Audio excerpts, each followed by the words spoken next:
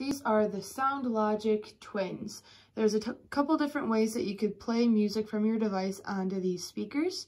So there is a auxiliary input, a SD card, and a USB drive to plug in a flash drive. And there's also Bluetooth, so it can connect straight from your device to the speaker without having any cords or cables. So this button over here is how you change the settings.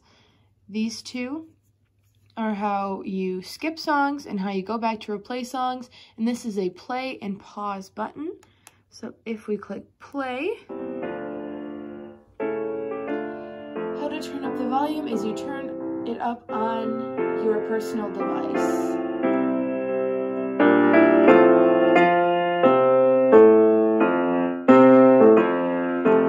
As you can see, these speakers get pretty loud. You can have them separated across the room